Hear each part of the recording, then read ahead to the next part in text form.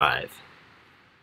Well, welcome everybody. It's time for another session. So what we're going to do is like um, how to eat well, healthier, and do it for less, and how to make it a little bit simpler. So we have lots to lots to lots to learn about, and uh, this says healthy cooking for less. Um, you know, one of the things that um, I'm hearing most of us aren't always the world's good cook, uh, the world's best cook. I'm a lousy cook. I love eating, um, but I, I, I can burn water, and um, so what we're going to do is just try to explore right now because one of the things that really worries me is that 60% of the calories that most Canadians eat are from processed food. And that's probably a terrible, in fact, I know it's a terrible thing. So how do we, how do we change that? And um, we're all busy, and so we're going to actually explore a little bit of that today, and we're going to have more sessions on that as well. So, uh, um, Stuart, I'm going to let you take it away and tell us some, some stories here. All right, thank you, Doctor. Uh, welcome, everyone, uh, everyone on YouTube, everyone in the WebEx. Uh, today we're talking about healthy cooking for less. We're going to be discussing some strategies for creating affordable and nutritious meals, and we're going to teach you ways to uh, cook healthier, quicker, and hopefully not sacrifice any taste or quality. So uh, we'll get started right here with our first slide. Um, again, we'd just like to welcome you, everyone. Uh, and before we begin, I just wanted to check in and see how we've all been doing this past week. You know, I, I think here at the clinic, we really want to emphasize setting some goals. You know, we have these weekly webinars all the time to encourage an environment where everyone can kind of share their experiences uh, and learn what works and what doesn't work for them. Uh, I think the important thing to realize is that it's definitely okay to try, and it's definitely okay not to succeed the first time, the second time, the 100th time.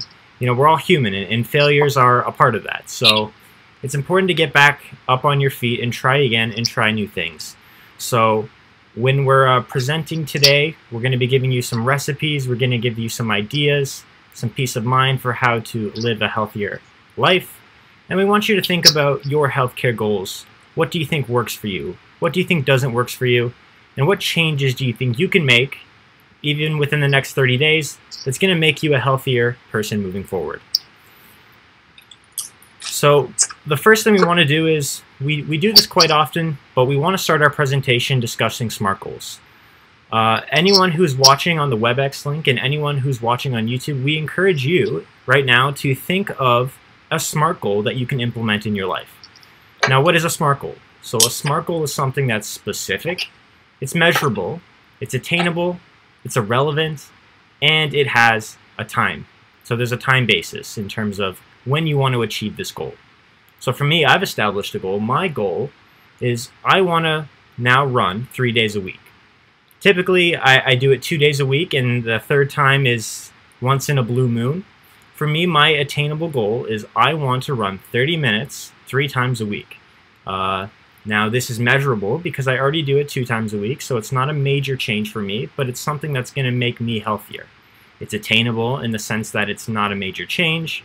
It's relevant to me because I enjoy it, and with school starting up, it helps me provide a little bit of balance in my life. And finally, I want to do it within the next few months before snow hits and I have to start running indoors. So for me, that's my SMART goal. For anyone who's watching on YouTube and anyone who's watching on the WebEx, we encourage you in the comments section to let us know if you're interested in establishing a SMART goal and if you're interested in our volunteers helping you reach your SMART goal. So if you are, we encourage you to put your name down, uh, let us know times that work for you so that we can call you and we can work on these SMART goals together. So anyone who's interested, please just put a comment in the in the chat uh, and we'll make sure that we are in touch with you so that you can reach that SMART goal and we can all reach it together. So my SMART goal um, is starting this Monday, September 14th. I'm going on a high keto diet with predominantly more fish and healthier fats. And right in front of me, I'm having a nutritious dinner. What I have is a hunk of salmon that was frozen that my wife prepared and we got a bag of salad, and I'm having my favorite or my second favorite beverage, what's my favorite beverage there, Stuart? Oh, one sec. So my favorite beverage happens to be coffee because I drink Coffee. a lot of it. But the best beverage in the world is water. water. So I'm having water, and um, and uh, my smart goal is to get 165 pounds, and I'm going to do it over over again. And so right now I'm 170. Yeah, well, 170 and a half right now. So I'm I'm hovering around that 107 range. I still want to get to 165. I'm inching my way downwards, and I'm hoping this high keto diet will put me over the edge. And we're encouraging anybody who wants to work with us is that this September 14th, we're going to start a high keto diet for those who want to. Uh, Chad's on the line over here, and he's going to actually talk in the next little while about a high vegetarian plant-based eating program and different strokes for different folks. I never thought that I would actually be talking about a high uh, keto diet, but um, in January 2020, British Medical Journal, BMJ, a very prestigious journal, actually had a series of experts talking about it, and it raises the door. Um, so, um, and those who are really interested, they can look at the webinar from last week where we did talk about a, a keto diet, a healthier one. Uh, I was talking to a number of people today who swear by keto diet, but most people who are, and- one person actually lost 60 pounds, which is terrific. Um, but they're eating butter, they're eating bacon. Uh, their cholesterol is still through this roof, um, and uh, so uh, so uh, the keto diet is not enough to control that person's cholesterol, but really suppress their appetite. They've been on it for about a year and a half right now, um, and they're being successful. So I'm trying to help that person modify it. Um, doesn't like fish, doesn't like nuts, and uh, but it's going to use uh, vegetable form with uh, with canola, olive oil, and olives. Um, walnuts he can he, he likes, and uh, he's going to add more chia seeds to that. So there's different ways of doing it. Um, so uh, so stay tuned. So um, but one of the things is that we need, we need to cook better, and we need to actually cook within our budget. And uh, how do we do that? So uh, Stuart's going to tell us how to do that today. Yeah. And uh, before I do that, Chad just po- posted a comment uh, saying that he's also happy to provide any guidance and recipes for anyone who's interested in a plant based diet. He also provided his email. Uh, the email is chad at expertmediator.ca. Uh, and you can have, uh, sorry, you can, uh, you'll have to find the drive within yourself to improve. Uh, if you want to change your life and feel better, you need to reduce cholesterol, remove inflammation from your body, uh, and overall feel much better. So if you're interested, please email him, and he was very happy and generous with his time to be able to help you. So thank you, Chad. Before we get into discussing a little bit about a plant-based diet, first thing I want to talk about is cooking from home. So cooking from home can be a great way uh, to bond with your family and also your friends. I think a lot of us in quarantine may have uh, picked up our cooking skills a little bit, myself included. Uh, and the thing about cooking at home is that it gives you an opportunity to try new things, experiment with different foods, and see what you enjoy and what doesn't. Um, I think when you do something like this, you'll realize that there are a lot of cheaper alternatives than what you may have been doing in the past. Uh, and you'll realize that, that cooking from home, especially during a time like quarantine, saves you a lot of money over time. Uh, cooking from home also gives you the opportunity to explore your different interests and gain a sense of control in your diet. You might be able to recognize things like added preservatives and processed ingredients that you had no idea was in your diet and was masked behind uh, marketing and, and things like that, where you think it's healthy, but you don't realize the amount of cholesterol or the amount of sodium in these foods. So, in a Harvard study, or um, pardon me, not a Harvard study, but in research studies, they have shown that cooking at home and consuming home cooked meals is associated with uh, increased ability to retain your healthy diet, improved cardiovascular health overall, and also it has a huge financial benefit both in the short term and the long term. So we're going to give you a number of recipes here, and we also have provided a link uh, down below in the description of the email, uh, which gives you access to a website which has a number of healthy uh, recipes, Um, and there's also a link for keto diet recipes as well, if that's something you're interested in. And as an aside, if you are interested in learning more about the keto diet, we did a fantastic presentation last week on the keto and fish diet. Uh, and so Doctor said that uh, if you're interested in joining him on his initiative on September 14th to join the keto diet and you want to learn a little more, please feel free to check that video out. It's a really great one. And don't register too as well, and so we can follow you and we'll give you some support. We're to have some fun. Then eventually we're going to go beat up on Chad about his vegetarian diet plan. We're to have lots of fun. I'm going to do all these diets. I'm going to do them three days at a time. You got it. So here's a few other helpful tips uh, while we're talking. Uh, one really great one is preparing your grocery list at home and making sure that whenever you go to the grocery store, you're allocating a budget specifically for the things that you need and not for the things that you don't need. So allowing yourself to plan ahead, plan your meals, plan your snacks, the things that you enjoy um, is very important. So it's important to plan ahead. It helps you to gain a sense of organization. It helps you save money. Um, and it also helps you to make sure that you're staying on the diet that you've set out to achieve. So another great way of doing this is meal planning. Uh, when I'm at university, um, I'm cooking my meals a lot of the time, and so I have a schedule of what I'm going to have each day uh, and what I need to prepare in the week to make sure that I can stick to that schedule. So making sure that you're meal planning, meal prepping, uh, and making sure that you're making more than maybe you need in one meal so that you can save it and have it in the future. Um, my family does this a lot. We make huge quantities of, of healthy foods and then we freeze it and it lasts us four to six months. Uh, that saves us time. Uh, it saves a lot of energy in the future. Um, and because we know these meals are healthy and we know that they're accessible to us, it's quite easy to heat them up then and, and enjoy them uh, for many months in the future. So let's talk a little bit about meal planning. Uh, the first one right here is just an example of what meal planning might look like if you're engaging in an intermittent fasting diet. So the basics of an intermittent fasting diet is that you can choose your own schedule.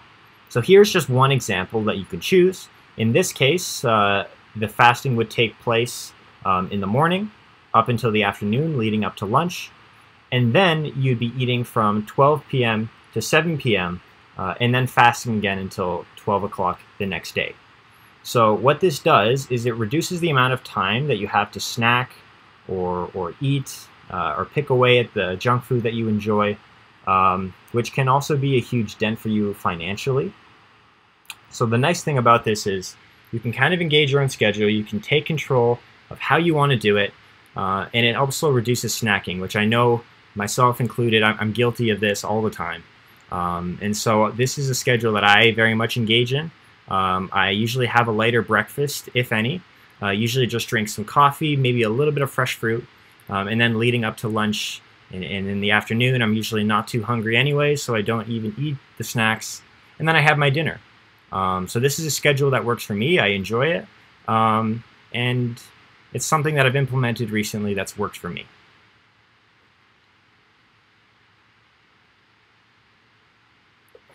Now let's talk a little bit about this grocery list. Um, one thing that we always encourage people to do is to try and shop at the perimeter of a grocery store. Why do we do this? So you may have heard this before from us or from somebody else. The reason why you do this is because a lot of the fresh, healthy produce, uh, all the food, all the all the uh, all the meats, the vegetables, um, the dairy products, they're all going to be at the periphery of the store. And these are typically the essentials in the average diet. Making sure that you're avoiding going in the middle rows where you find the processed foods, the boxed ingredients, the crackers, the chips, uh, all these all these junk foods that um, we may love, but we know doesn't love us, uh, we want to avoid. So how do we do this? We stay at the periphery of the store. Another thing we do is we never go to the grocery store when we're hungry. Um, I think when you go to the grocery store when you're hungry, it's going to be your automatic instinct to go in the middle aisles because these are where all the snacks are. These are all the things that are going to satisfy that craving that you have, uh, but it's not going to sustain you for very long. So when you go to the grocery store, you want to make sure that you're not very hungry and that you have a plan of action when you're going. So having this grocery list and sectioning it off uh, into the bulk foods that you need, the fresh produce, the meats, and making sure you're allocating your budget and sticking to it uh, is important to save money over time uh, and to eat healthier.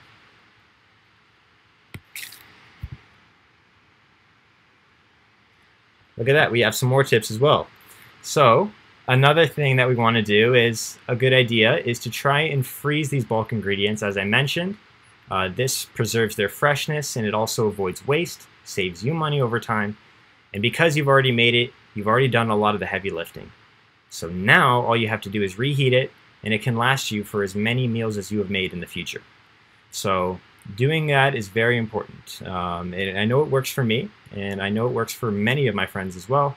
Um, another thing that we like to do is uh, organize our meals around what's in season and what's on sale. What this does is it keeps things fresh and exciting. So you won't be having the same meals all year round because you're basing your particular meal plan uh, in accordance to what is in season and what is in sale in those particular months. So this is just another helpful tip that uh, I and my family tries to go by uh, whenever we are cooking meals uh, and whenever we're shopping as well.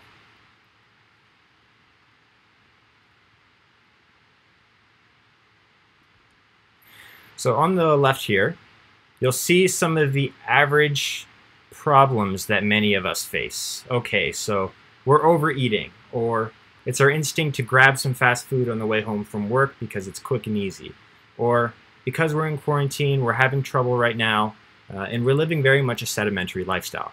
Well, for every problem, there is solutions, and a lot of times they, they're not as complicated as we may think in the beginning. So we've talked today about organizing a grocery list and making sure that when you go to the grocery store, you have a plan of action. Hopefully this helps to mitigate the overeating and eating too many calories in a typical day. Another thing is grabbing fast food. Well, how do we do this? We talked about meal prepping.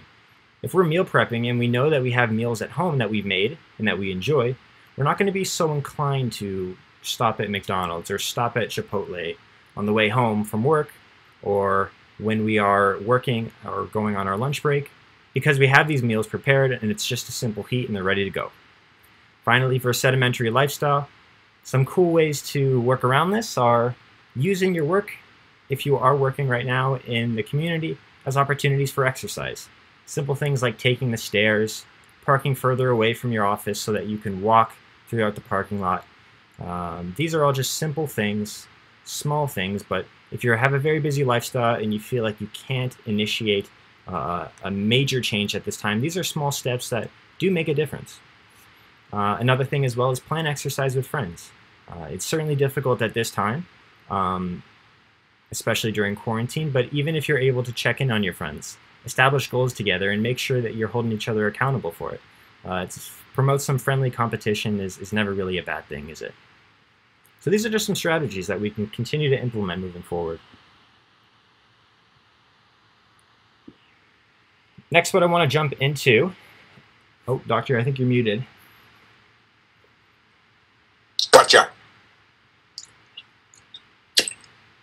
Did you want to add anything? Great. Okay.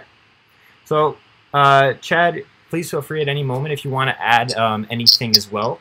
Uh, right now, we're transitioning into plant-based eating 101.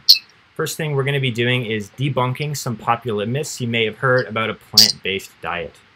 Okay. Here's a little uh, running joke that uh, Zoya, who worked on the presentation, wanted to include. Here you have a picture of the pharmacy with the uh, farmer saying, take one a day with tomato and cucumber. Uh, a running joke on what a pharmacy might look like uh, if you swap out the pH with an F. So what is plant-based diet and uh, how do you get started on it? Well, first let's talk about some myths. Myth number one, meat is the only source of protein. Now, we know this is false. There are many other options for proteins out there. Uh, for one, tofu is always a good option, but there's a variety of others as well, such as beans, legumes, making sure that you're uh, eating eggs, egg whites especially. Uh, these are all fantastic sources of protein. Um, I'm curious to know if anyone would like to propose in the chat how many grams uh, of protein they think are in one cup of black beans. Uh, I'll give you a minute to think about that. One cup of black beans, how many grams of protein do you think is in that? If you have a chance, I'll, I'll, give you a moment to uh, type it in the chat, uh, and I'll give you the answer in just a minute. So other alternatives that are also significant in protein include collard greens, kale, spinach, as I mentioned, beans and legumes, making sure that you're eating whole grains, nuts, seeds, such as chia seeds, uh, also things that contain fiber. These are things that tend to sustain you for much longer, um, and they're much lower in cost compared to meats such as chicken or steak, pork, and things of that nature. Um, and let me check if anyone has a, uh, a guess.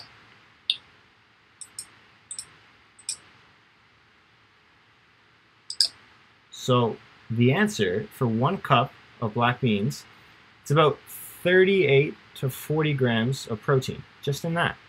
So that goes to show you how much protein is in things such as your basic beans and your legumes. All right, so the next thing we want to talk about is the fact that we are overeating in terms of our, uh, our daily recommended intake of proteins. So if you take a look on the left here, you'll see the average American diet. Um, on, a, on a bad day, some may have three strips of bacon, two breakfast sausages, and uh, a big mound of eggs for breakfast.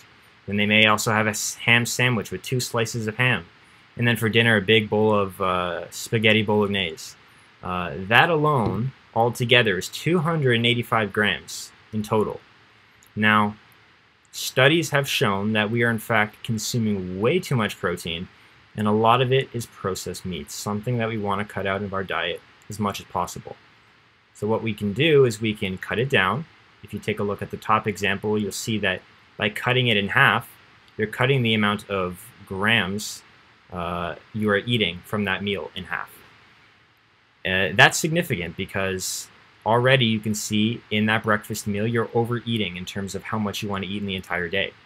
Other solutions would be swapping things out, substituting your ham with things like chicken or tuna, which is very much lower uh, in grams.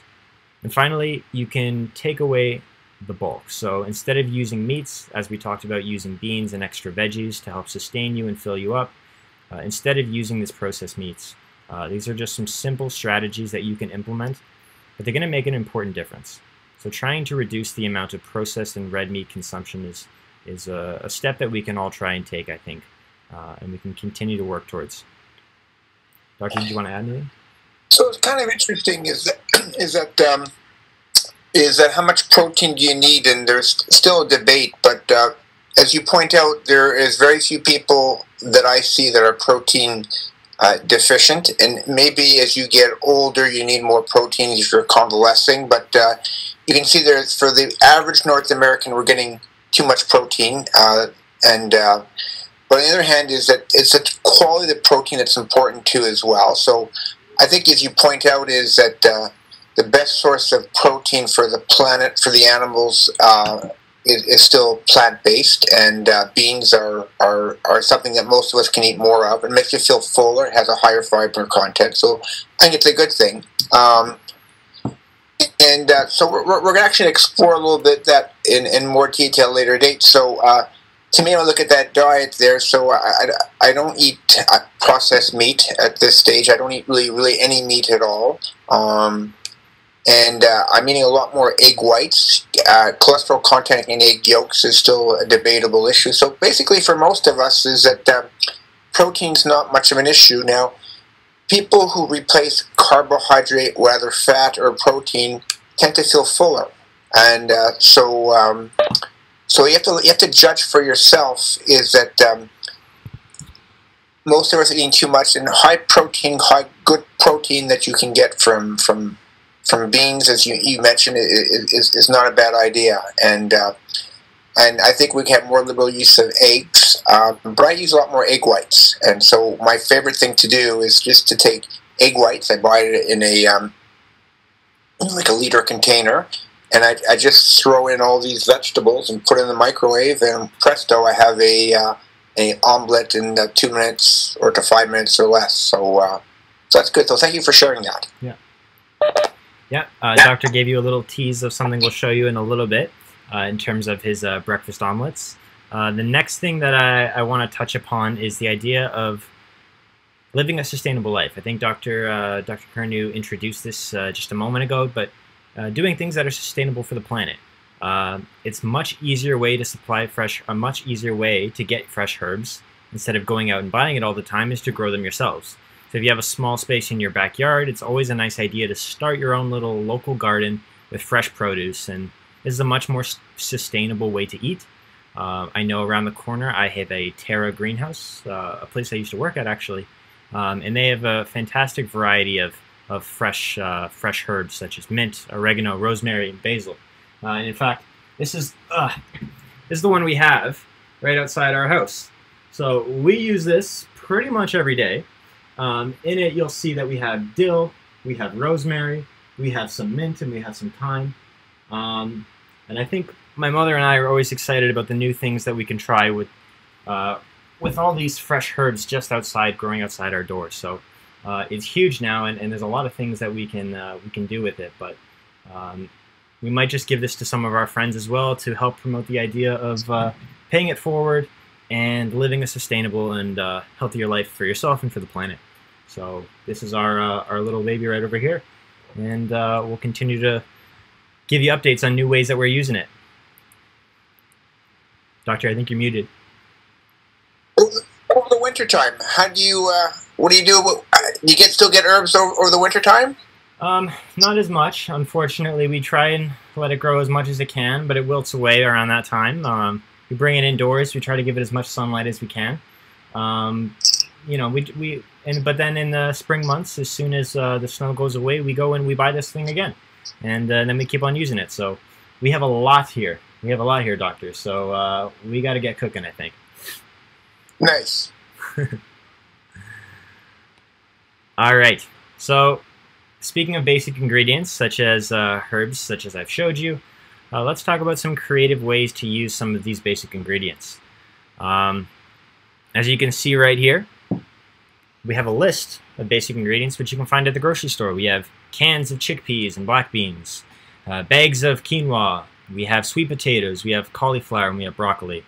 Um, you can see right here that, surprisingly enough, a, a, bag of chickpeas, that's almost half a dollar. I mean, uh, a can of black beans is just one dollar. You know, a big bag of quinoa, which uh, 14 ounces is very significant, uh, just five dollars. Uh, per potato, it's less than a dollar for a sweet potato.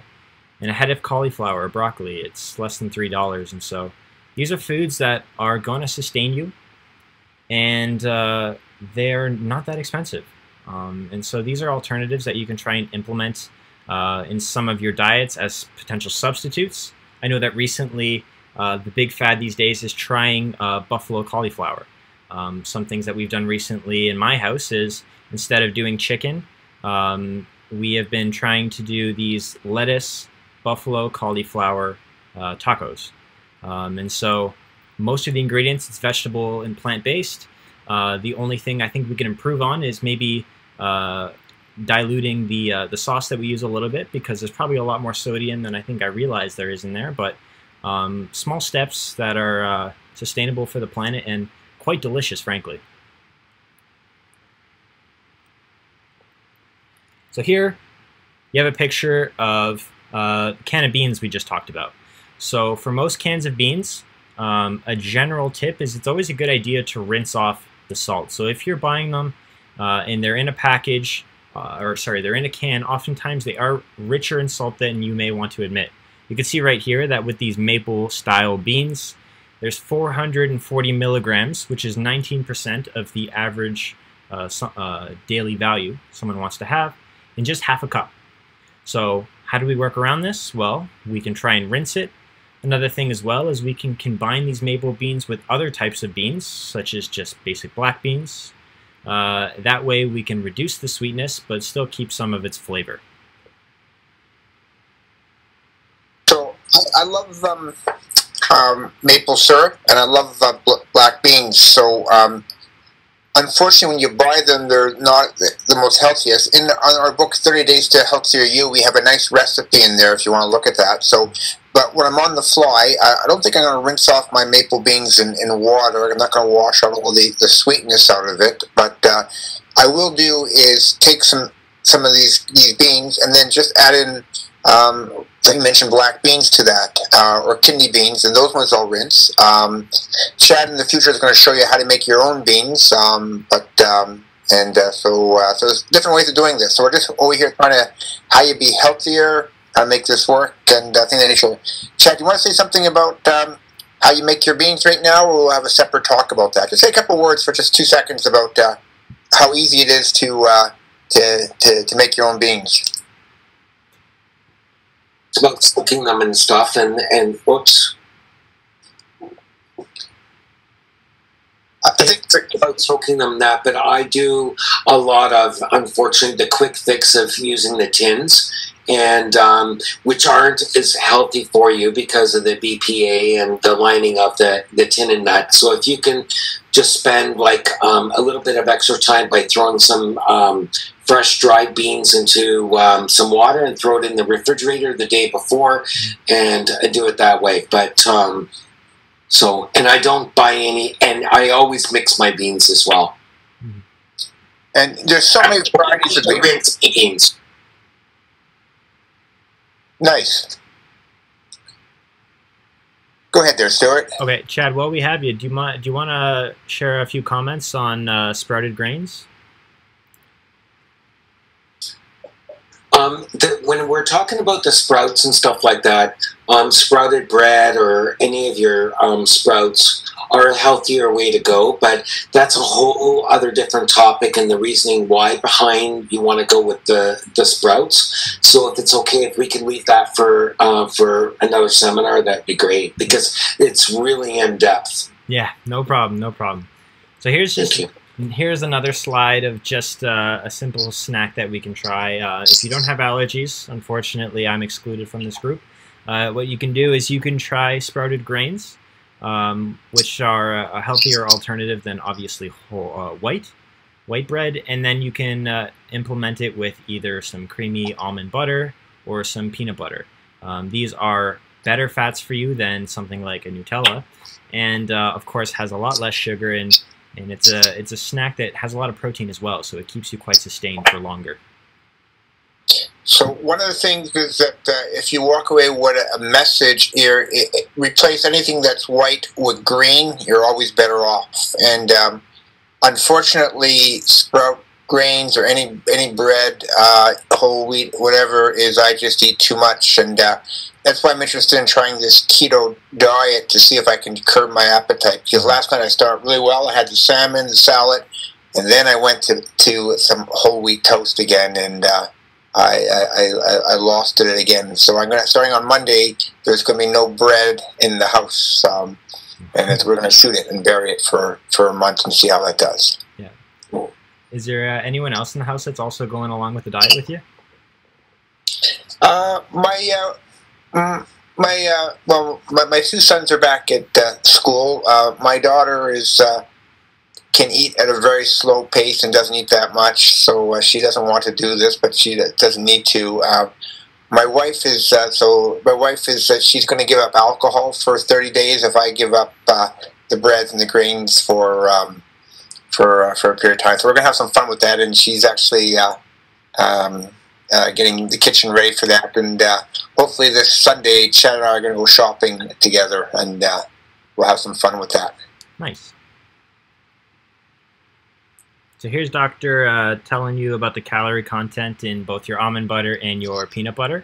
So in just two tablespoons, you'll see that there's about 210 calories in almond butter uh, and 180 calories in peanut butter. Uh, if we also take a look at some of the nutrition facts you'll see here, uh, it's surprisingly rich in uh, proteins.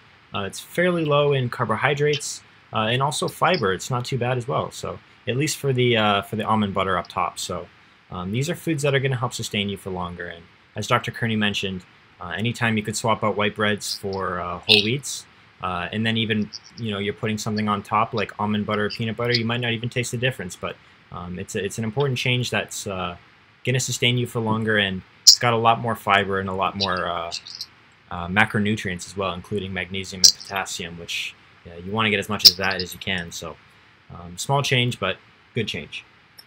So what you can see that they're very rich in calories. You got to watch out. Mm-hmm. Um, I love almond butter because it's been shown in the randomized trial to be a beneficial fat. Um, and because it's so much more expensive, I'm a cheapskate, so I use very little of it. Um, so I'm a big fan of uh, almond butter at this stage. I, I, I, sort of love peanut butter, but uh, I think um, uh, look at the calories, see how it fits into your diet. Um, what I'm going to do uh, next week, is I'm going to put some hummus or some almond butter instead of putting it on uh, on, on on bread. I'm going to put it on celery sticks and uh, green pepper and red peppers and things that nature. So I'm going to, uh, as part of my uh, high fat diet, I'm going to be going that in that direction. Remember, is I, I want to pick healthy foods, um, and um, peanut butter and almond butter are healthy foods, uh, but they're rich in calories, so you got to be careful. Right. Keeping with the theme of breakfast, do you want to talk a little bit about your uh, white egg omelet? Yeah, so um, this is actually looks nicer than, than my one. Um, with uh, I eat a lot of egg whites because, as you know, eggs are a controversial area. Uh, I think it's certainly not a, a, bad food, and people who like eggs, um, um, that's reasonable. Some of us hyperabsorb cholesterol from um, from the egg yolk, and uh, the egg yolk contains about 250 to 300 milligrams of cholesterol. Um, and the egg white uh, is basically uh, more of a protein-based food, and it fills you up. So what I do is that uh, I, I, love spinach. I think Chad loves spinach too as well. So I take a bunch of spinach. I buy those big bags of it, and I, I put a little touch of water, put it in the, the microwave, and I put any onions that I can see or peppers, any leftover vegetables. I just put in there, microwave it for about uh, less than two minutes, and then um, instead of cooking it in a nice uh, uh, situation like you see on this picture, I just put the egg whites in the the microwave, and if I really want a treat, um, I will um, add a touch of cheese to that, and in you know in five minutes or less, I have a, a scrumptious meal that is rich in protein, lower in calories, and good for you, and easy to do, and quite inexpensive. You got it. So I think the takeaway there is simple but effective and rich in proteins and vegetables, and you can't get it, can't get enough veggies. So, uh, as we move on here, uh, we have a few pictures of uh, the sprouted uh, grains that uh, Chad mentioned. Uh, this is something we'll go into detail probably a little bit more in the future. Um, as Chad mentioned, it's a, it's a conversation for a later date, but you can see that even just with the nutrition facts here, um, it's quite healthy in terms of the fact that it's uh, richer in proteins. It's it's good in terms of your dietary fiber, um, and uh, I guess the rest of it we'll, we'll go into potentially on a later date. Um, but if this is something that you're interested in learning more about, uh, you can certainly check into future webinars. Uh, and if it's interest, something that interests you in terms of uh, shopping, uh, you can see that with the Country Harvest Loaf, it's just $3.49 at the local grocery store. So it's interesting. The uh, there's usually some bread on sale somewhere. Uh, usually get it for about uh, two for five dollars. Um, um, so, but the problem is when I have one piece, I usually end up between four and six pieces of uh, toast. Um, so uh, it uh, and, and, and and and and bread is. Um, it really it does it does have the glycemic index is, isn't particularly good in the sense it gets broken down quite quickly. Mm-hmm. Uh, there's no such word as white bread in our, our house, uh, so they're all uh, fiber content, at least two grams of fiber per, per, per piece. You, you, can get to four or five in some, some breads. Mm-hmm. Um, most breads are about 100 calories plus per, per, per slice, so um, if not not careful, I can eat a thousand calories in just in bread and uh, almond butter if I'm not careful. Um, tastes good, but um, I, it's a weakness for myself. So for some people, uh, Chad can have one piece, and that's great. My son can have one piece. I have to have four to six if I'm not careful. So mm-hmm. everybody learn yourself in different strokes for different folks. Um, and bread is a high source of uh, sodium in most people's diet. Um, so be careful about that as well. Uh, Doctor, did you want to provide a comment on this slide as well? Uh, it's interesting is that uh, you can see that um, they're roughly all the same amount of uh, calories. So if you're going to say, um, and you can see this white bread 66 calories, but um, the, the, the, the bread that you just showed advertised is about 110 calories per slice. So I feel fullest after one sweet potato with the skin on. Uh, next, with one potato, and I feel the least full after having white or I, I don't, or just whole wheat uh, whole wheat toast right now. So, um, so uh, for me, I'm I'm always hungry, and to curb my appetite, I um, what I sometimes do as well is I in those beans that uh, I, I put in the microwave. I put everything in the microwave. I I take a can of um, um, uh, black beans. I take the the, uh, the, the beans and uh, either tomato sauce or maple syrup, and then I, I put a couple of uh, potatoes with the skins on, or sweet potatoes in the microwave, and then after that uh, I just put them all together in one big mash dish, whatever, and uh, eat that together there. So, um, but it, that's a relatively um, um, favorite of mine. So, uh, so what I'm trying to do is replace. Um, as much as I can with real food, and potatoes and sweet potato is real food. They're roughly the same in the sense of health effects, um, and they're also for a diabetic. You got to be careful. Sometimes you can have a rise in blood sugar, but you know, um, uh, not a bad choice, and it's also inexpensive. You can buy you know a bag of ten pounds of potatoes for next to nothing, and um, you can just ha- have them as you go on. So sometimes at nighttime when I'm really hungry. I'll take a baked potato, poke a few holes in it, and just put in the microwave for about four minutes, five minutes, and there you go. I have uh, baked potato raw, nothing else on it. Um, and make sure you put a couple holes in the baked potato. Uh, you wash it first because if you put a baked potato in your microwave uh, without putting a few holes in it, it will blow up, and that's not good. you sound like someone who knows that from experience. I, I you know it.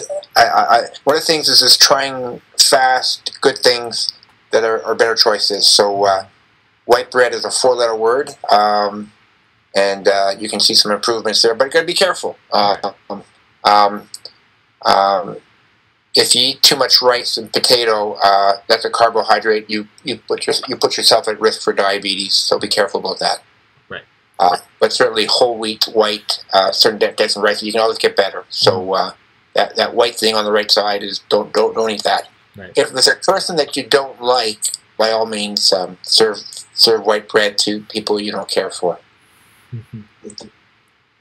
Uh, and then we have a question as well. Um, someone was asking just about the, uh, the, the, peanut butter, and, and Chad provided a comment now. But um, why are we going with jarred nut butters when there are, are alternatives such as nuts in the cupboard, uh, no salt, no sugar, but you can add them?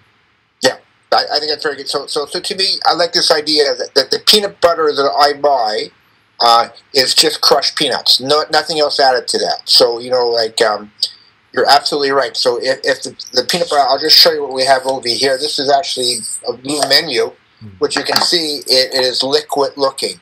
So that means there's no trans fats added to this. There is no sugar added to this. This are just crushed nuts, peanuts, and so uh, and the same thing with almond butter as well. So absolutely, the type of the type of peanut butter or the type of nuts that you buy very very important. So having a few nuts as well is a great great idea too as well. So I, I do snack on almonds and things of that nature. I have to be careful because I can easily um, um, go through a bag of uh, nuts very quickly. And when I buy nuts, I make sure the, the unsalted ones as well because salt makes you eat more and uh, and most of it too much salt. So absolutely. So um, so I, I, I agree with that comment very very very importantly. But you can buy peanut butter, almond butter that are just crushed mm-hmm. nuts.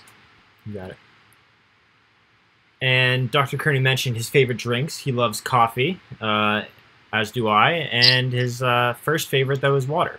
Uh, why do we drink water instead of things like juices that claim to be healthy? Well, if you look at a juice, your typical glass of orange juice, uh, I honestly don't know the exact number, but it's almost like drinking a, a, cup of soda. I would almost think in terms of the amount of sugars that you're you're getting in, and unless it's unless it's more freshly squeezed and more natural, it's it's not going to be those natural sugars that you're going to get if you bite into an orange. So they're adding extra extra sugars, and even though you may think it's healthy, the amount of sugar you're consuming is far greater than how much you would want to have um, in just a small glass, uh, 25, 250 milligrams. Yeah, so it's interesting is that um, uh, you can you, you can buy juices that are unsweetened, natural juices. So to me, I think you're better off eating the the actual uh, orange, grapes, and things of that nature because um, uh, you get the fiber content and uh, and you get the, the good stuff that you get from fruits and vegetables. Um, we're going to actually show you some smoothies that you can do if you if you're that type of person. Um, I think having two glasses of water before every meal, I said this before, and I'll say it over and over again. If you have two glasses of water between before every meal, you will actually lose five pounds over time. Um, and it's, uh, it's, it's, it's the best beverage right now. And, uh, and uh, in Paris, France, you get uh, free water everywhere you go. They have these fountains from uh, uh, of water available all over Paris. And if I was the Canadian government, you know, looking at new ideas to invigorate Canada, is that I would make um, um, water stations all around Canada uh, free, uh, available, and that's something I would expect the public sector to fund. And and there goes all the um, the, the bottled water industry. There goes a lot of the beverage industry. Water is a good, healthy food. Period. So let's briefly talk about salads. Uh, salads are a quick thing that you can make. Uh, they're a great lunch and they're a great dinner as well. Um, my mother, uh, she has a salad, I, I would say eight days a week. She's got a salad every single day for dinner while she's making me something else. Uh, she goes for the salad because um, she enjoys it. She knows that it makes her feel good. Um, and on top of being very active, you know, it's a good way for her to end her day. So um, how do you make salads? Well, you can use it pretty much anything you have. Um, there's so many different combinations that you can use for salads. You can have uh, vegetables. You can put in fruits to get a little bit of sweetness. Uh, some cucumbers, some onions, tomatoes, uh, sun-dried tomatoes, uh, or just little, uh, the smaller red tomatoes as well are fantastic and they provide a little pop of flavor. Um, you can also roast your vegetables as well in the oven.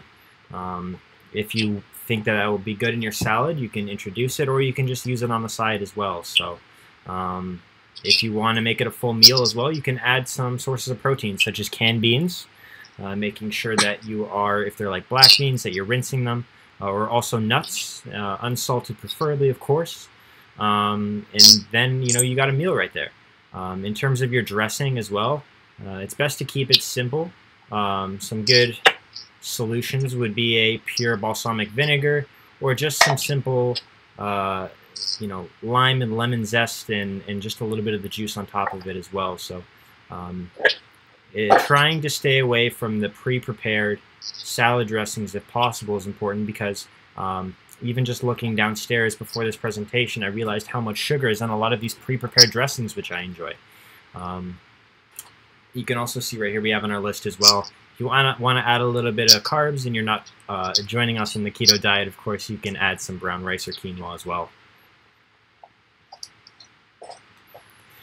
So here's another simple recipe. Uh, this is keeping with the same theme. It's a pasta salad. So um, for anyone who's watching on YouTube or the WebEx, you're more than welcome to rewatch this video or take a picture if this is something that interests you. Um, all you would need is just some cooked whole wheat pasta uh, some sliced cucumbers, bell peppers, onions, tomatoes, chickpeas, spinach, and canned corn. And then for dressing, just a simple combination of olive oil, lemon juice, a little bit of salt, pepper, basil, and a little bit of Italian seasoning. Um, then you want to serve that cold as well. Uh, make it in large quantities, and you have enough to serve the entire family. So um, my mother does something very similar to this. She also does a, uh, a bean salad as well um, every once in a while, where the uh, main source of protein is just black beans, and then um, red peppers, onions, uh, um, cilantro, uh, and just a simple combination of olive oil and uh, balsamic vinegar on top. So let's talk about soups. Uh, the reason why we want to talk about soups is because they're pretty simple. Uh, I think a good takeaway that we want to want to give you here is that uh, it doesn't need to take a long time to, to make a good healthy meal for yourself. So all you need to do is throw a few things in the blender. Uh, anything you find in the pantry, you can add a number of spices, and the next thing you know, you'll have yourself a nice soup. Uh, you can roast some basic vegetables as well, some uh, some green peppers, some onions, uh, and then you can add that as well. Just a little bit of garlic and spice adds a little bit of flavor as well. Um, you want to avoid using store-bought broths. On, I believe it's the next few slides, we'll talk about how you can make your own broth uh, using just some water and some simple vegetables. Uh, and of course, if you're into lentils as well, you can uh, add some lentils and vegetables to add a little bit more substance to your soup as well. So here we are in terms of our basic broth. Um, how do you make a broth? Well, all you need to do is you take a number of the basic uh, ingredients that you have in your house, the leftover potato peels, carrot scrapes, the outer layers of onions, a little bit of leftover garlic, some vegetable scraps you have, add some salt and pepper, uh, add a little bit of herbs and dried spices, put it in some water, and, and make sure you're boiling it uh, on a low heat for several minutes. Then you can add this to any combination of ingredients you like, and you have yourself a nice broth for your soups. Uh, quick, easy, simple, and, and certainly healthy as well, as long as you're keeping a close eye on the amount of salt you're adding. So it's kind of interesting is that uh, I had um, one of my patients say that uh, anytime that she had leftover vegetables or or, or, or, or, you know vegetable scraps or whatever, she would put in the freezer, um, and then every once in a while, um, you know, any leftover cuttings and stuff that were on the fish, she just boil, will boil them. So, Chad, when you um, make your uh, broth there, how long do you uh, boil it for?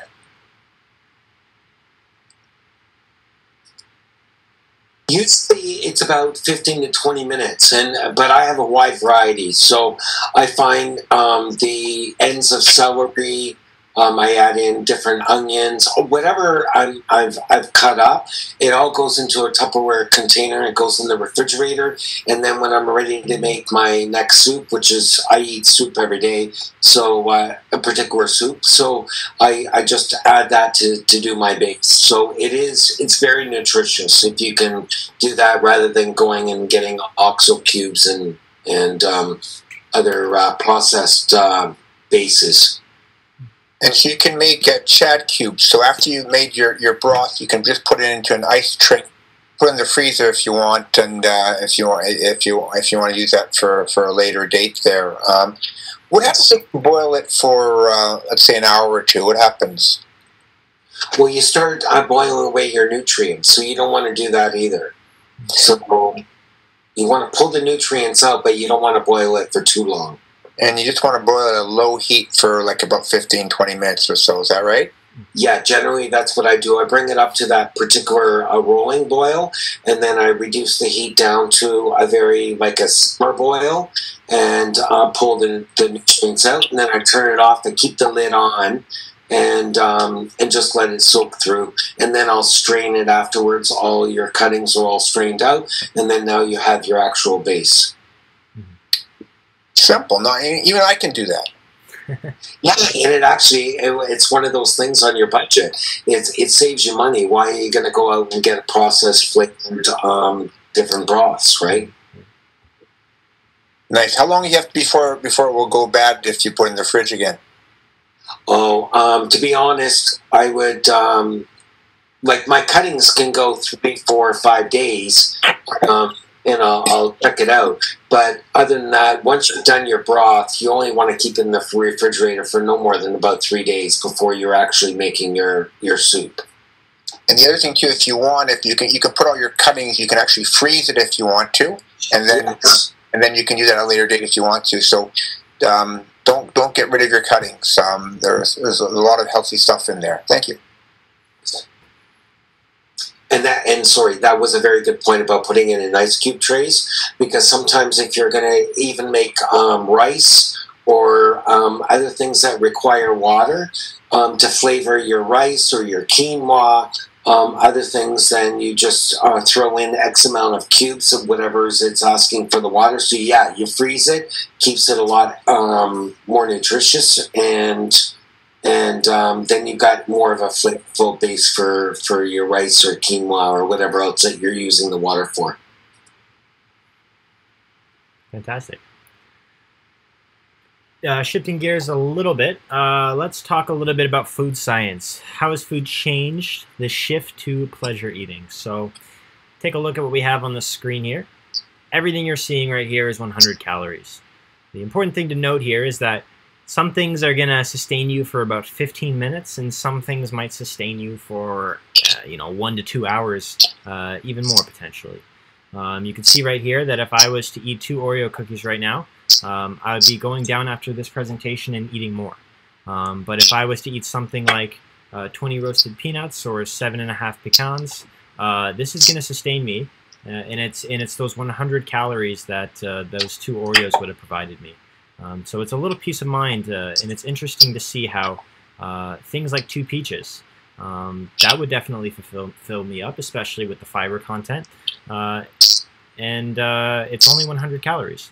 So you can eat uh, some really healthy foods, um, especially vegetables um, and, and beans and, and natural legumes, uh, which are going to be low in calories and are going to keep you fuller longer. So we keep saying this word sustained. What's what does this mean? It means keeping you fuller for as long as possible so that you're not snacking all the time. Uh, if you take a look right here, we have a number of different foods. All of these are 300 calories. So this is what 300 calories looks like. If you look at the top, the row in red, these are the things that are very dense foods. You got cheeses, mayonnaise, butter, olive oil. Uh, and if you look at the serving sizes at the bottom, a very small amount is already 300 calories.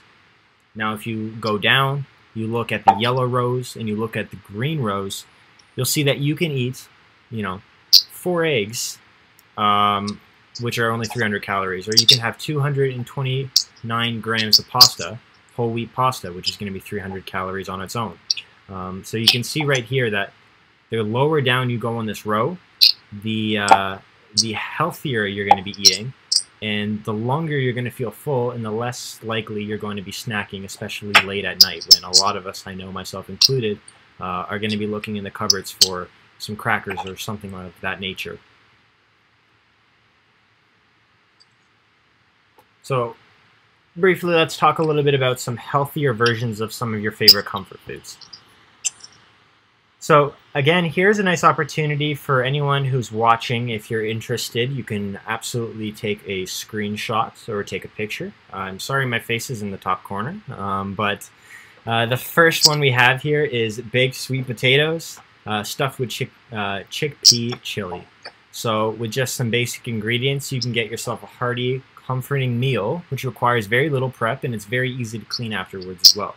Uh, these baked sweet potatoes would just be topped with an easy chickpea chili, uh, and the website here describes it as a winner. So these are the basic ingredients that you need, and this is a much healthier alternative than a chili that's going to be rich in uh, ground beef or mincemeat, um, which is this processed food that we're trying to cut out of our diet as much as possible.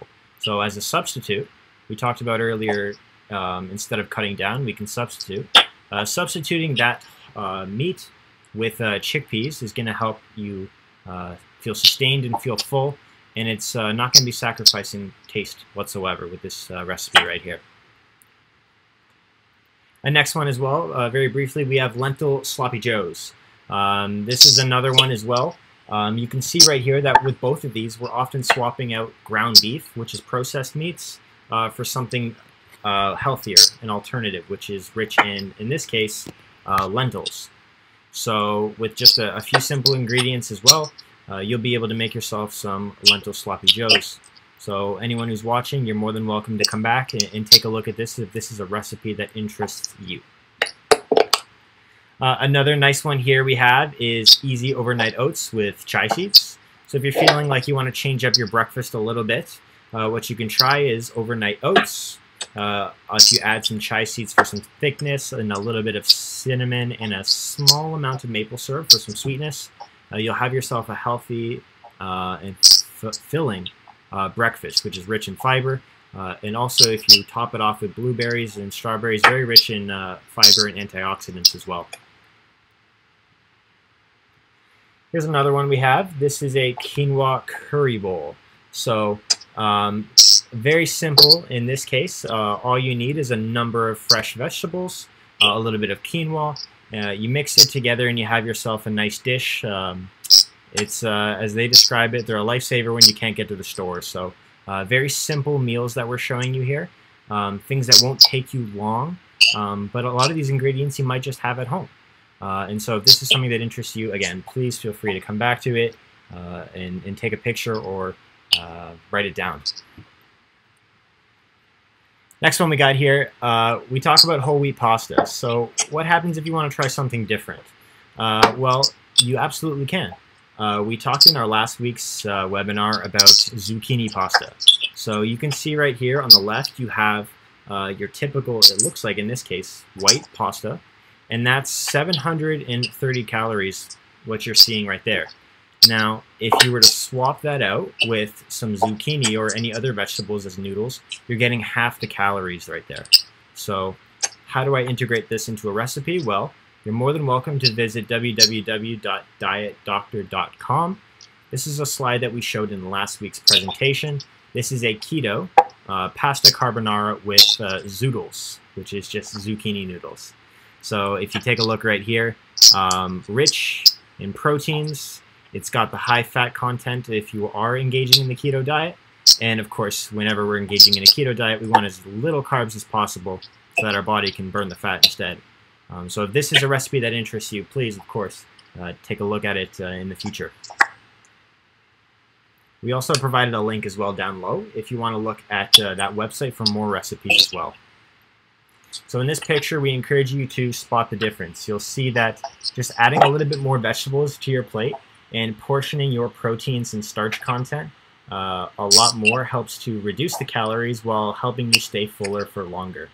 Um, so you'll see right here that this is a much better balance uh, than this. And it's a lot less calories. It's got a lot more greens, which are good for you as well. And still a, a good portion of uh, what looks like salmon in this picture. So uh, trying to substitute some of that meat uh, or that uh, fish for vegetables is, uh, is definitely a good strategy which we can try and implement.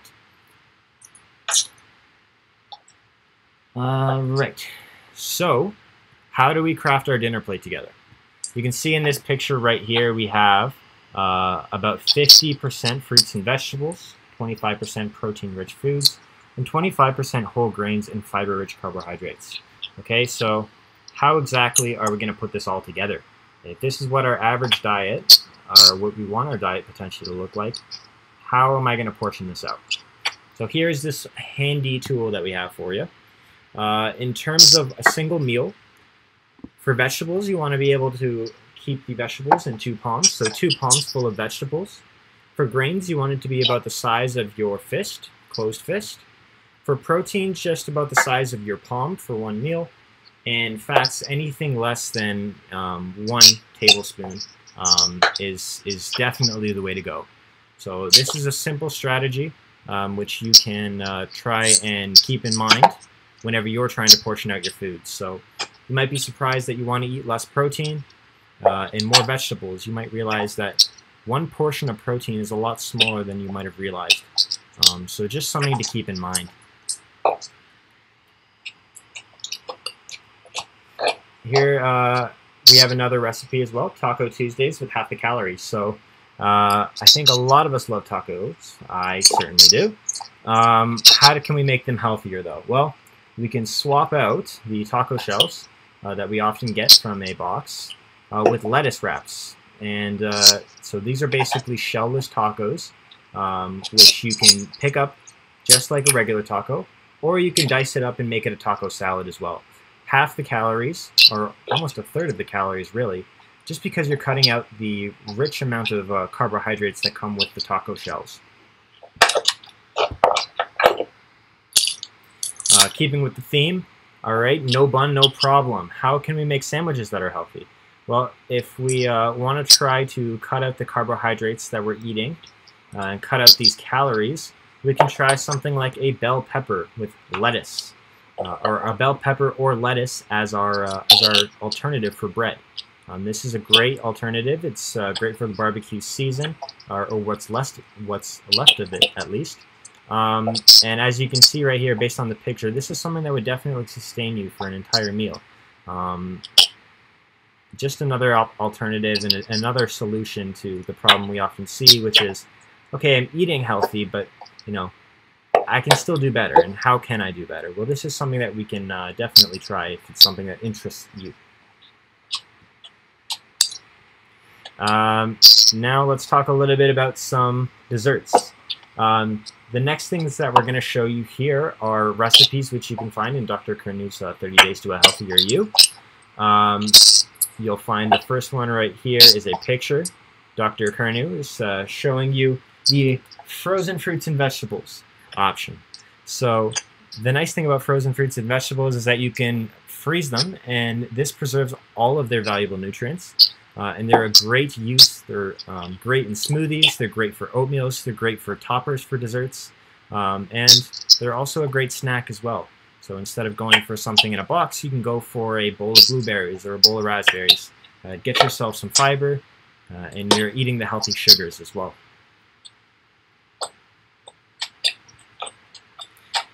Next, if you are interested, uh, Dr. Curnew has a book. It's 30 Days to a Healthier You. All proceeds do go to charity. Um, and in this book, there's a number of fantastic recipes. Here you'll have one um, on whole grain muffins with sunflower and flax seeds.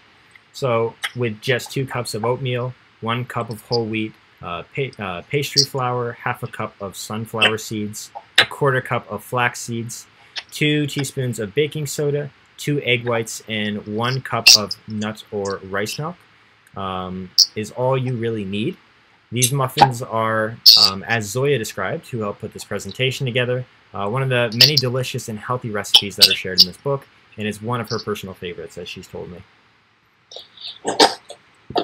Um, so how do we put this together? Well, all you need to do is uh, lightly oil your muffin pans, mix this concoction of all the ingredients that you have, um, and then fill each muffin cup three quarters, and then bake at 350 for 30 minutes.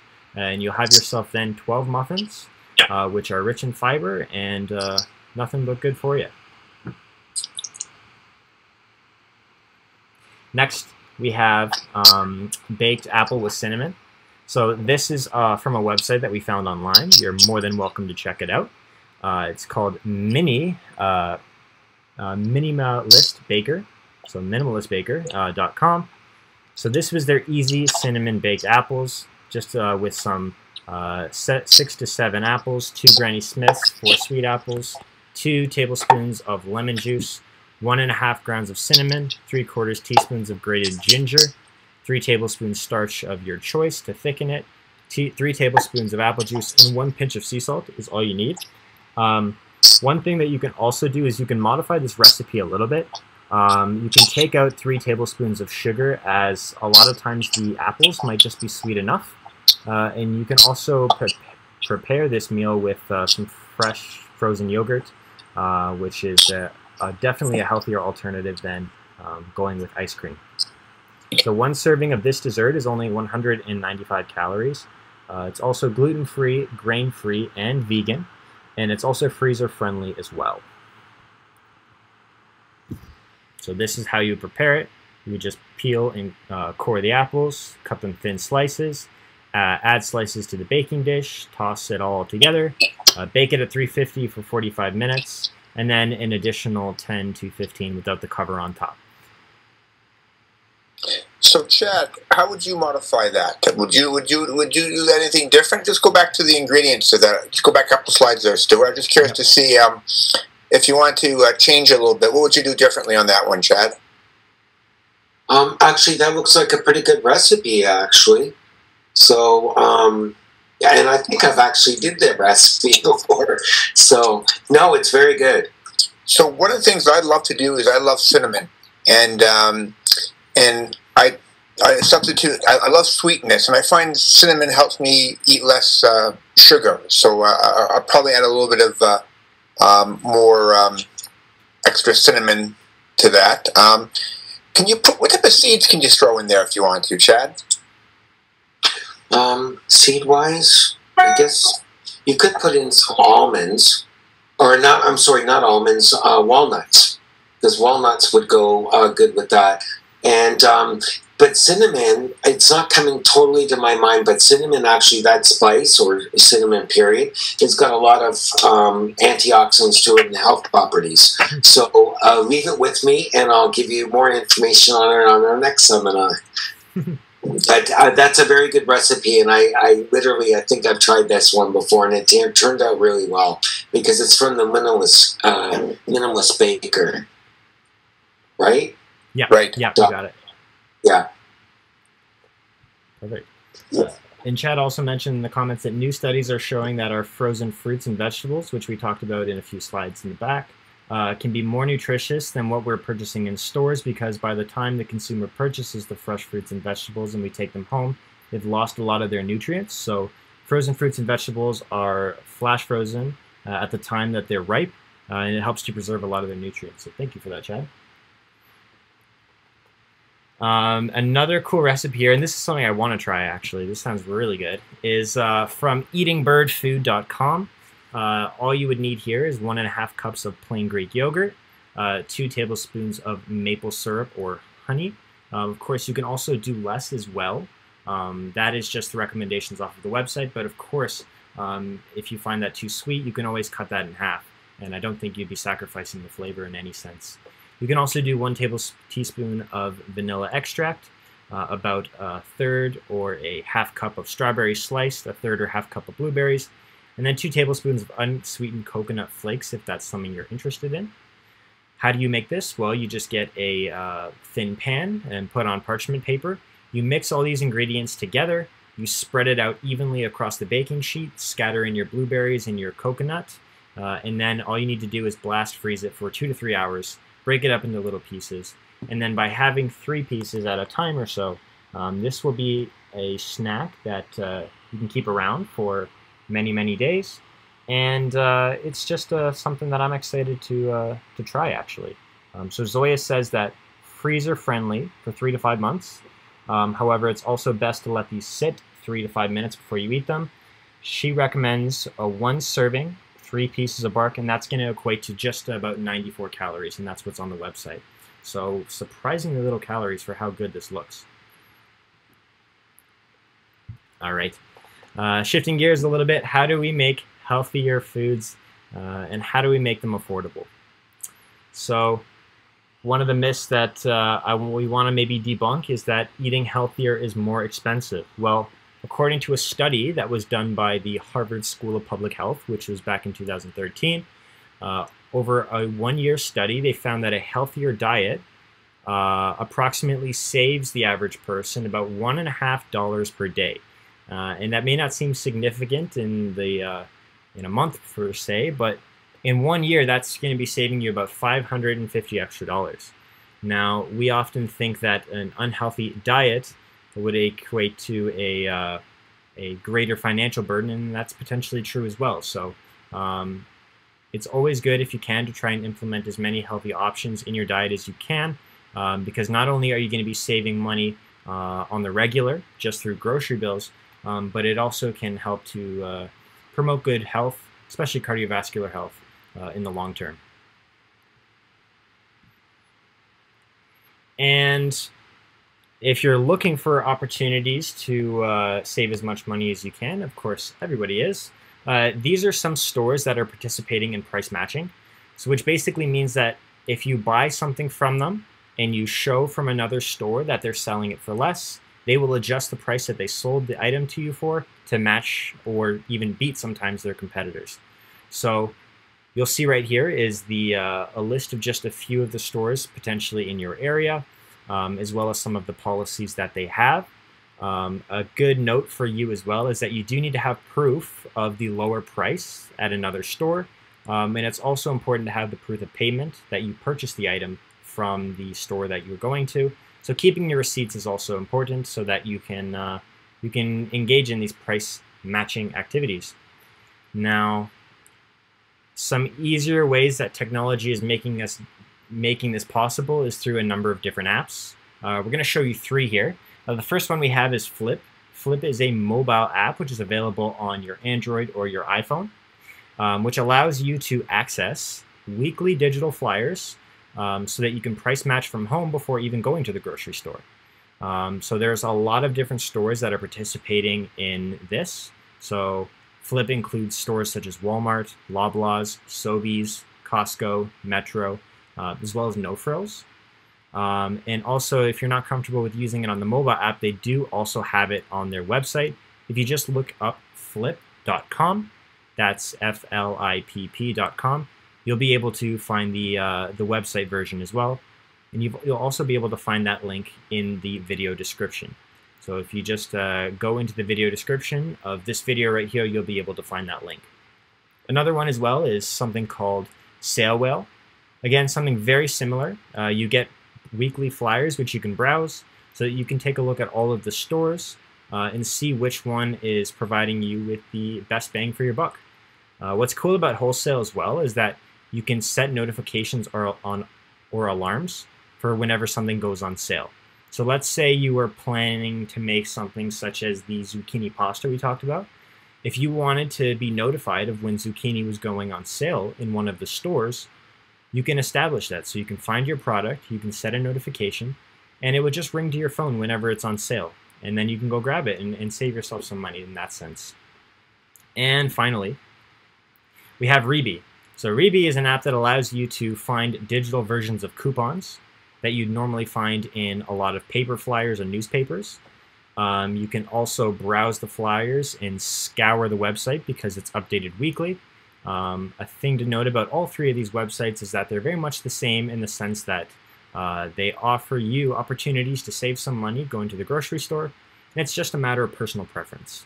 So all of these three uh, websites are in the video description. So if you're interested, please feel free to check it out um, and download it to your phone as well. So how do you plan to track your progress for the next 30 days? Uh, I've done a lot of talking here, and uh, I talked at the beginning of the presentation about establishing goals for yourself. So, in the very similar vein, I want you all to think about uh, what does your support system look like? All right, and how can you develop an action plan with the resources that you have available to uh, take some of the things that we've talked about today and, and maybe implement it into your life? Um, so if you're watching the video, of course, it means that this is something that's interesting to you, and it's something that you're trying to implement. Uh, so I encourage everyone to take some time to think about what they think is actually possible for them uh, and how they think they can do it.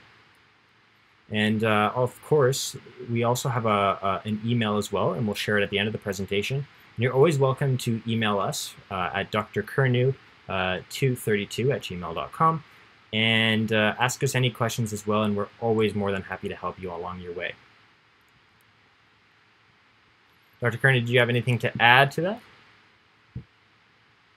Oh, I think you're muted. Let me turn you on. There you go. There you go. Um, to me, is that um, it's like the Toronto Raptors. Is that uh, you got to surround yourself with uh, people that have the same philosophy, want to work with you. Um, so Stuart's one of my health buddies. I know Chad's on there too. I see John Deacon, and I have a few hundred other people out there as well that are going to make it easier for me to be successful, and hopefully, I and our team can make it more successful for yourself. Uh, I realize a lot of the stuff is is hard. Um, on the other hand, is that um, you know what what I've learned right now is that from a health perspective, there's not very much good or nothing good about being overweight. Um, you're more prone to infections. We see that uh, in COVID is that you're more likely to die, but that goes across other infections. We learn from the cancer, there's a whole bunch of cancers that make things worse. We know from heart disease, you're likely to have a heart attack, stroke, congestive heart failure, dementia, Alzheimer's disease. And so um, I, I think it's time to think about what can we do differently? And frankly, there's a lot. And just as you point in the, you first started, it to me it's no longer okay to just sit back and do nothing. It's okay to do something and try something different. So to me, I'm kind of excited about this uh, high-fat diet, a healthier version of it. Um, try to use the best of research to help and the best of humankind and, and, and supports as well. Uh, then after this 30 days, I, am going to see if it helps suppress my appetite at nighttime. Will I be perfect? Absolutely not. Will I be better? Absolutely yes. Then I'm going to go work with Chad, and we're going to be vegetarians for another 30 days. Um, and then I see John Deacon on the on the line there, and he's actually he helps me soften the blow because um, at times is that um, I, I push too hard, and, and what John will, will say is start off slow, make one little change at a time. Maybe for today you're you're going to actually buy running shoes, and then maybe a week from now you're going to actually go for a walk or you're going to just change your diet. You go to right now is that Harvey's this week has their special two hamburgers for six six dollars. Well, get two veggie burgers for six dollars uh, if you want to try something a little bit different. Um, and there's no mayo in my ones, just all the vegetables you can pack in there. If I was really smart, I'd say hold the bun and just give me. Uh, I'll bring in. Um, two uh, two green peppers, and I'll just wrap it in green pepper. So you know, there's different, there's different, different, different things, and try different things. And um, I find that uh, getting the support around you makes it that much more fun, more manageable, and don't be hard on yourself. Um, just keep moving forwards, mm-hmm. ups and downs. I saw John Deacon there on, on there, and asked John Deacon what's his thoughts on. He, he's actually um, made a lot of changes, and uh, give, give John, um, Dr. Deacon, can you give us a couple of tips on um, how you changed uh, some of your eating habits and uh, and some of some of the tricks you want to pass on if you if you want to take a moment or two? I, I think uh, one of the lucky things I have is is a wife who's who's uh, willing to help me help support me. So uh, I think that's for me that's been a huge benefit. Can I don't know? Can you hear me? Yep. Yeah, you can hear you. It's perfect. Yep. Okay. So the first thing I first thing is to do things together is a lot easier than doing it by yourself. So encouraging my wife and applaud whenever she does something that is appealing is uh, is a last last night we had a an all vegetarian uh, dinner that she's made before and uh, vegan dinner and um, when I when I uh, thanked her for it, she uh, she says, "What are we going to do today?" And uh, uh, so that that's that's my first point. My second point is, as you just mentioned, what I like to do. I like to take um, take a little step and turn it into a habit. Um, for for example, um, when I started the the uh, to get into this with the, with Dr. Curnew, the first thing I decided was this is going to be tough to do all at once. So why don't I start and say breakfast is going to be vegan? So uh, I did that either with oatmeal or with uh, with uh, other cereals that are um, low or no fat, and um, and with lots of fruit and uh, and uh, soybean milk, and and before you know it, that part of the day is done. I don't drink coffee, and uh, um, so that was one thing. Then the next thing we start I focused on was well, let's try this for lunch, and we started having sandwiches with cucumbers and tomatoes instead of with uh, with uh, with uh, burgers or or uh, ham or whatever. The next thing I did was I stopped eating cheese, and uh, so it's just gradual little gradual little steps and a lot of encouragement between my wife and myself. I think that's uh, uh, important. The final thing I would say is uh, for those of us who are male, being part of the kitchen is uh, is also a wonderful thing because it gives my wife courage when she sees me in there trying to create a meal uh, or part of a meal with her. So those are my three little tips: uh, being part of the kitchen, taking a little step at a time, uh, focusing on one meal or one snack or one part of the day until you've got that into a habit, and then moving on to the next one. Over to you. so, uh, Stuart, one of the things I really enjoyed that uh, that that that basket of all the herbs there, and Yeah. um, and I, I think one of the things is that uh, getting a garden, um, and we're, we're going to explore how to how to do that a bit better. And uh, what are some of the things that you? And I like the fact your family batch cooks and uh, does things. And uh, uh, what other tips do you want? Any other final tips you want to put on today? Um, no, I I I think uh, my family's always just trying to try new recipes. Uh, tonight I had a dinner. The dinner was something my mother hasn't made in five or six years, but it was uh, just some lean meat, uh, some healthy sauce that she made with some bell peppers, some mushrooms, some onions, uh, and just a little bit of uh, brown rice on the side. And uh, I had never had that before. We've we've had similar things, but uh, trying new things, keeping it exciting, and just being conscious and constantly trying to learn about what am I putting into my diet, and this is really helping me. Um, so we have made a conscious effort. Uh, I've definitely made more of a conscious effort, especially being at university over the past few years, where I've had to fend for myself. And um, I think I've learned a lot just by doing that. So I like what Dr. Deacon said about being in the kitchen a little bit. Um, I'm certainly not the best cook in the world, but I've become a little bit better over the last few years because I've explored and I've tried new things and I did things that made me uncomfortable and I learned from those things. So um, I think that's a nice takeaway is to try things that make you uncomfortable, but uh, you know, learning doesn't happen in, in a bubble. Uh, it, it happens when you step out of that bubble. So um, there's my message for you.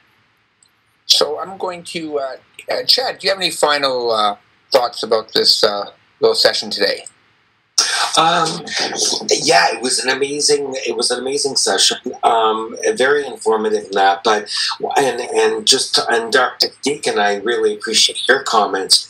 But at the end of the day, is you know what you got to find it within yourself.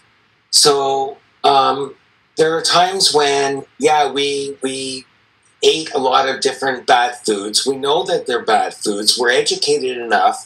We know um, what's the difference between healthy eating and bad eating. So, you know, it's up to you to finally get mad at yourself and go, do I really want to live that kind of life? Especially if you're dealing with any form of diabetes, cardiovascular disease, or whatever. Just take some time out for yourself, soul search, meditate, whatever it takes, and go, the party's over. I got to get strict. I want to get healthy. And if you try the healthier diet, you're actually going to feel the difference. So we know really down in our gut, follow your gut, really, not only with food, but your intuition on what's better for you. You're going to go out to Harvey's or something fast food, or can you bite the bullet and then just go over to the grocery store and pick up a few bananas to get you through for the next couple of hours? So, yes, support is really important. Um, that you have a, a, partner, a wife, a husband, whatever it may be, um, different people that are in the same same mindsets. But ultimately, it's up to you. You have to make the difference for yourself because you don't want to be laying on your deathbed going, oh my God, I've got regrets. Why didn't I just try or do what I, I knew would have been better for me? That's my comment. Um, fantastic. Um, I want to thank, uh, first of all, Zoya, who couldn't be here today. Zoya's our, our, one of our superstars. She's been with us for, for many, for years, and she's been very helpful in, in cooking. She's also my personal psychiatrist at times. I have a lot of psychiatrists um, um, that, that, that help me and I, I learn from and, and gather strengths. She's writing a big exam tomorrow. I'm sure she's going to ace it, and she was kind enough to really work hard in getting this presentation, but she wants to be ready for exam tomorrow, and uh, we all pray and wish well for her. Uh, Stuart, fantastic job. Um, I want to thank everybody, and I think you know, Chad, your comments about um, we, we have to take initiative. Um, I like John saying and um, making some changes there, and the people you see here have all tried hard and made some changes and uh, been successful at it. And uh, so, to me, um, keep trying and keep trying over again, and 30 days at a time. Um, make a commitment for next 30 days. This is what I'm going to do. So starting this Monday, the next 30 days, I'm making a conscious effort to a high fat keto diet. I'm getting my keto sticks, and I'm going to actually be on a healthy keto diet. Is that going to change how I look at the world for the rest of the time? I don't know, but you know what? I, I feel kind of stuck at a certain weight right now. I'm going to try something different. Will it work or not? I don't know, but there's some good science behind that too as well. Uh, and there's a lot more to go right now. Uh, any comments on the um, on the from anybody else or on the uh, internet there, Stuart? Um, we have one just asking uh, if you'll be at tennis tomorrow, six thirty. Yeah, so I'm going to be at tennis tomorrow at uh, six thirty, uh, unless it rains. Um, and I have to be at clinic at uh, eight o'clock tomorrow morning. So at uh, seven thirty, I have to be on the road. I won't be showered for clinic tomorrow, so I'll try not to smell too bad. Just kidding. Um, but yeah, I'm going to play hopefully tennis twice tomorrow at six thirty. Then again after clinic. Um, uh, to me, last night is I finished late. I went and played tennis last night. Got home at eleven o'clock and uh, enjoyed tennis. I, I know that the lights on our tennis court are still on at least till eleven thirty at night time. I didn't know that before. Mm-hmm. Uh, they are might go off. I'm not sure what time they do go off. Um, and uh, I appreciate those that are, that are, that are coming out. And um, you know, it's just a, a wonderful uh, group of people we're working together, and we're all making each other healthier. And uh, let's just do it and try again. Any other final uh, story? to get the last word. What, what's your thoughts for for tonight? Well, uh, first and foremost, you already mentioned it, but huge thank you to Zoya who who really put uh, this entire presentation together, and uh, she's a pioneer for educating me on topics such as these, and and so I, have had the privilege of being able to work with her for a few years, and uh, I had the privilege now of being able to present her presentation, and hopefully I did it some justice. Um, I think uh, I, have said everything that I think I could say, but uh, I really liked a lot of the takeaway messages that uh, Dr. Deacon, Chad, and, and Dr. Curnew talked about, and just about, uh, you know, not living with regrets. You know, uh, if you want to make changes, now is a good time as ever. the world is changing. Things are things are weird, so might as well make a, uh, a drastic change yourself in your life. Um, uh, we're here to support you all the time. We have uh, a ton of resources. We have this uh, email link, which you can always email us for questions, and we'll be able to answer them. Um, and we also want to make our future presentations as collaborative as possible. So um, if you guys ever have any comments, any questions, or if you ever want to engage with us, please always feel free to ask us questions. That's why we're here. We're all here to learn together, and we're all here to uh, uh, enjoy uh, each other's company on a Friday night. Um, so thank you everyone for joining us, and uh, we'll hope to see you next week. So remember, new at 232gmail.com. You can call the office um, saying I want to start, I want some support, I don't want some support, I just let you know what's, what's going on. We'll give it to you. So we as a group uh, on we're, we're going to start this month, and we're going to do this every month, and we're going to try this over and over again. So uh, um, I wish everybody a great night. Uh, fantastic presentation. And uh, I just got a few more phone calls to make. And I wish everybody good night. And uh, we'll see you. We'll see you soon. Good night, everybody. Right. Good night, everyone. And we're good. Okay. How do you guys feel?